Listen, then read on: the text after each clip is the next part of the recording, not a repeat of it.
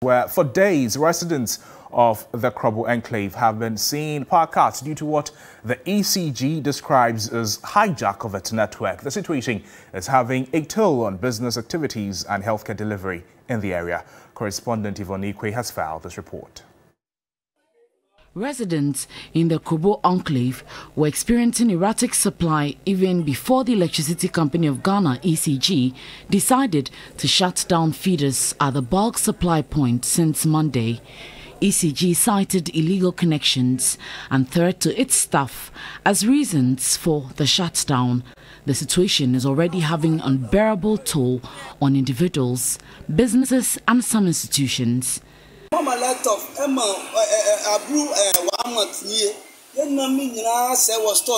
The lights have been off for a month now.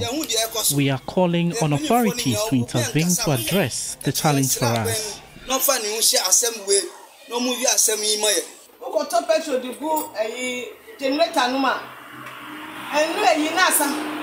If you buy petrol for your generator a day, you need 100 cedis. But how much money can one make in a day? Please help resolve the issue for us. As a facility, uh, we are completely paperless at our OPD, inpatient, every service, including our finances, storage, everything is on a digital uh, platform. And so our generator needs to be on 24 7, and that has cost us financially. Centers with generators have been overwhelmed with phones to charge at a cost of two cedis per phone. We need to break down our transformers. We complain severally to ECG. We always come trying to repair, but we didn't yield anything better. And that is the challenge we have. It's very hot here. Our phones are down. We are now planning to get generators and then charge people's phone for them. Residents are appealing to ECG to reverse its decision. Assemblyman for the Kpong Ahojo electoral area concedes his people have been part of the problem but wants ECG to tamper justice with mercy. But this one is across, so everybody's affected. We called for this. I don't see why people should be attacking the personalities within ECG. I don't, I don't see it we need to all reason up. Let's come to a roundtable discussion.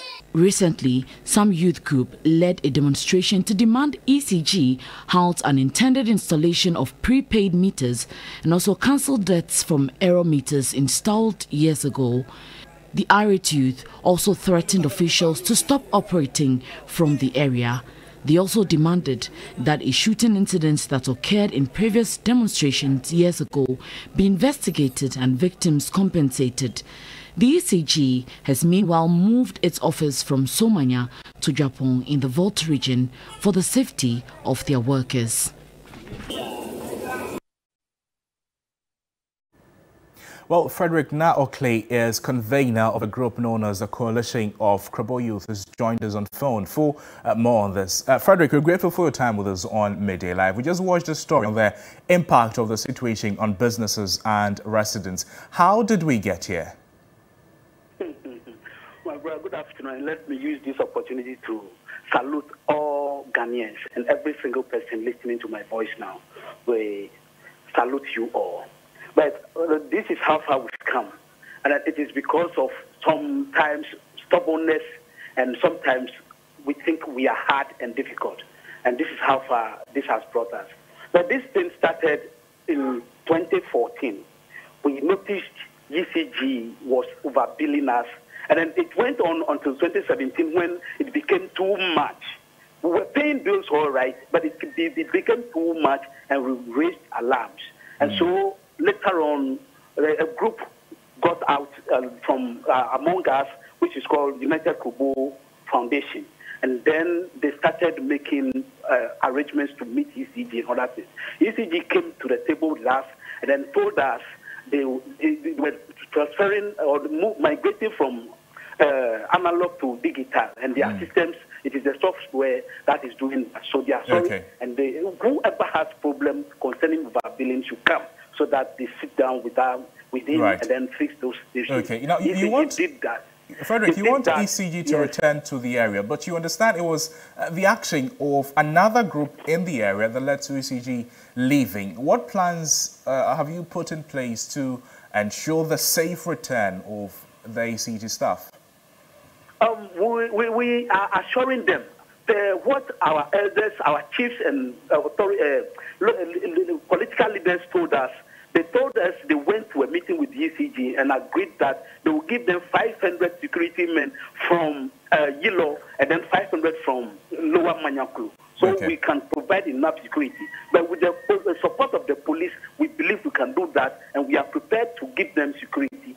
So they should come back and then begin to operate again. And then we are warning everybody. Let me use this medium. We are warning every anybody who would like to impeach ECG from working to defray from that, or the whole community, the whole Krobo land will descend on that fellow.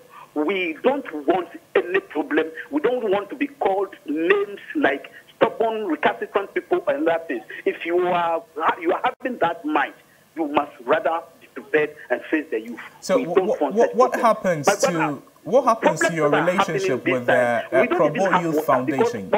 Water projects have been shut down. Frederick, can you hear me? They run their uh, machines on electricity. They have also been disconnected. They, we, we don't even have pipe-borne water in our town now. Frederick, What's happening?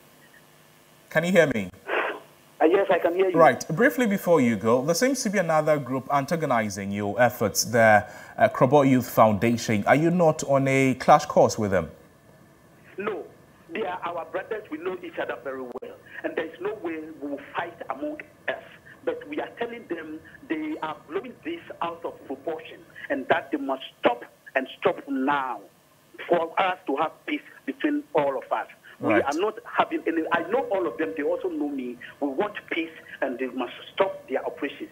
That is it.